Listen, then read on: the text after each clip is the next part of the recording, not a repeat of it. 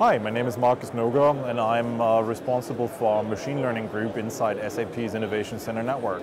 We are on a mission to make all enterprise applications intelligent eventually by bringing machine learning and artificial intelligence into business processes. SAP helps businesses run better and improves people's lives.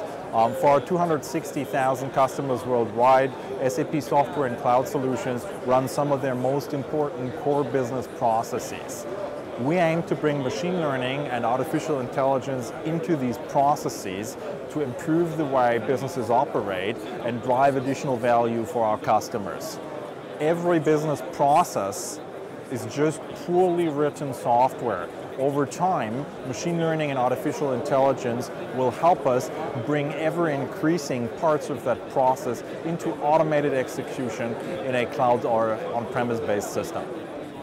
SAP's Innovation Center network teams in Potsdam and in Israel are using the DGX-1 appliance to develop machine learning and deep learning solutions for more than 320,000 customers around the globe.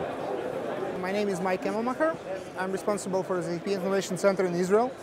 In Israel, we have a team uh, of computer vision scientists and engineers uh, who are working uh, on advanced video and image analytics solutions for SAP enterprise customers we already have NVIDIA-based systems, uh, the, the, ones we built on our own uh, with previous generation of cards. Uh, so in DGX, we see a number of benefits. Uh, first of all, it is coming as an integrated appliance, uh, so we don't have to take care about hardware compatibility of different hardware modules and uh, you know software compatibility, driver compatibility, this kind of stuff. So it already saves us a lot of time. Um, and uh, also, um, uh, which is not less significant, uh, we are getting access to the latest generation of Pascal chips, which are way, way faster. And we already managed to um, validate it even uh, based on our workloads, right?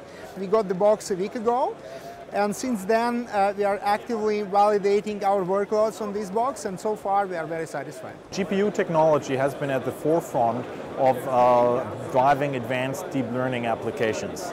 Um, modern appliances like the DGX-1 allow us to significantly accelerate training cycles improve the quality of models and to bring out better solutions to our customers more quickly.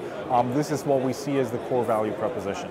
One of the main benefits of an appliance concept um, is the drop-in and go um, value of this appliance because you're able to immediately um, become productive. Um, this is what's been core um, to making rapid progress on our deep learning problems.